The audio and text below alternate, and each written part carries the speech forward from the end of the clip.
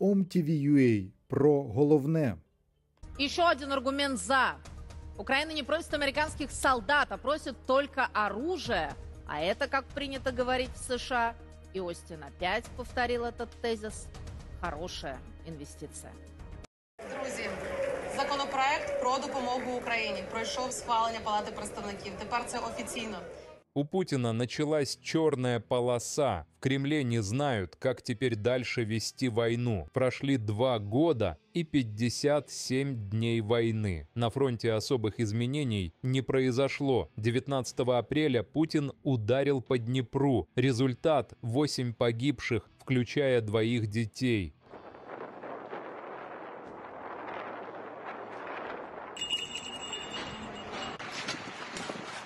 А 20-го бомбила Одессу. Слава богу, убитых нет, но много раненых, включая мать с ребенком.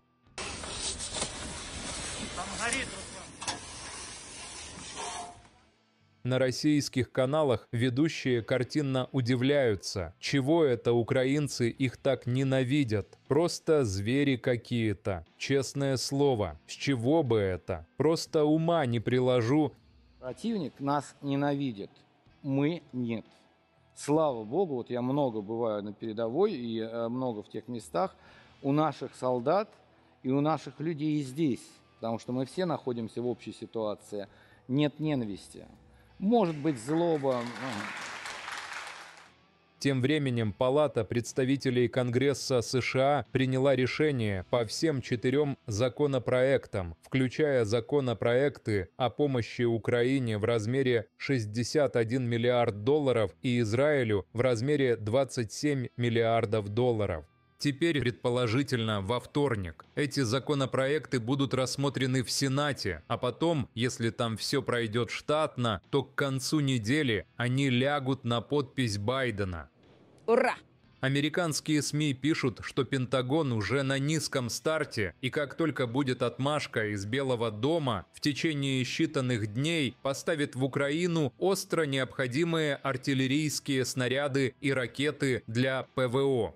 И вот это вот меня, к сожалению, наводит на ситуацию очень большой грусти. И вот только тогда можно будет выдохнуть и сказать, что самое страшное позади. Так что нужно запастись терпением и подождать еще пару недель. Лишь только тогда мы увидим реальные результаты сегодняшнего голосования в Конгрессе. Осталась неделька. Все чуть-чуть осталось. На это решение уже прореагировали в Кремле. Песков заявил, что это решение еще больше обогатит США и еще больше разорит Украину. Я, честно говоря, до сих пор наивно полагал, что это как раз песковский хозяин Путин разоряет Украину своими бомбардировками. А оказывается, это Америка ее разоряет тем, что поставляет ей средства ПВО, защищающие ее от путинских бомбардировок.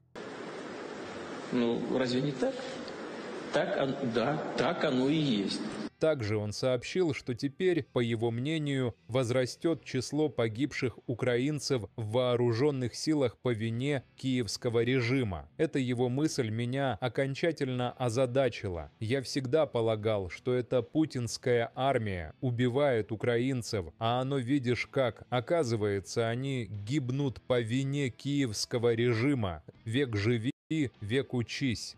О как! Не промолчал и Димон Медведев. Он сообщил, во-первых, что в Украине идет гражданская война разделенного народа нашей ранее единой страны, а во-вторых, пожелал, чтобы такая же гражданская война началась в самих США. Глубоко. А российский МИД попросту заявил, что военная помощь киевскому режиму является прямым спонсированием террористической деятельности. Это же ежу понятно. В результате я так и не понял, чего они все сказали. Впрочем, ничего нового. Они там в Москве так до сих пор и не договорились, как назвать то, что происходит в Украине. Вообще ничего не понимаю. Песков говорит, что это киевский режим сам убивает украинцев, Медведев рассказывает про гражданскую войну единого народа, а российский МИД про то, что это терроризм. Согласитесь, что нынешняя война не может быть одновременно и тем, и другим, и третьим. Ничего не понимаю вообще. Мне кажется, все значительно проще. В Кремле просто находятся в замешательстве. Они не знают, как теперь дальше вести войну. Они, имея огромное преимущество в артиллерии, авиации и даже просто в численности армии, за полгода американской паузы не смогли добиться никаких заметных успехов, как говорят военные, оперативного уровня. И это значит, что теперь, когда их преимущество перестанет быть таким подавляющим, они тем более уже никогда не смогут добиться ничего существенного. Единственное, что они могут, так это продолжать бессмысленное истребление своих солдат и ресурсов, Никакого освобождения, так опрометчиво записанных в Российскую Конституцию территорий, им не видать, как своих ушей. Ничего из этого не выйдет. Так что у Путина сегодня плохой день. Эй, Вован, это папандос. Мне даже тебя немножко жаль. Ты был последнее время весь из себя такой снисходительный и вальяжный. Так охотно комментировал полный провал украинского контрнаступления. Противник успеха не имел. Теперь настала пора рассказать, чем закончилось твое наступление. Авдеевкой это все не густо. Пойдем на Польшу на Латвию, Литву, на Эстонию. А народу сколько ты угробил? Молчишь? Правильно. Что тут скажешь? Я думаю, что вообще, когда мы узнаем наши безвозвратные потери, у многих волосы дыбом встанут.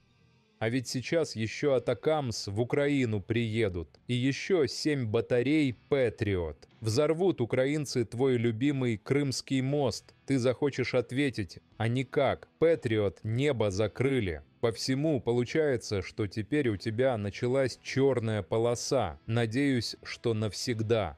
Просто кошмар.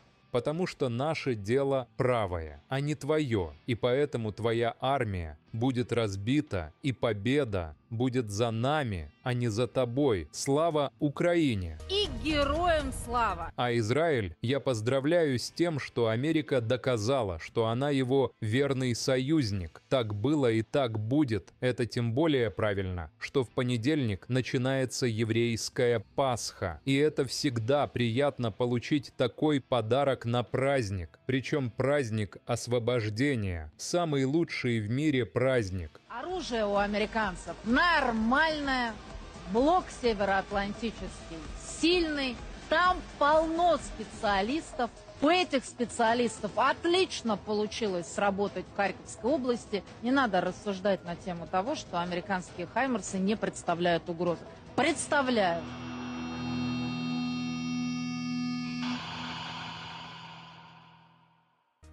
В тексте документ прямо сказано, что США обязаны предоставить Киеву дальнобойные ракеты «Атакмс».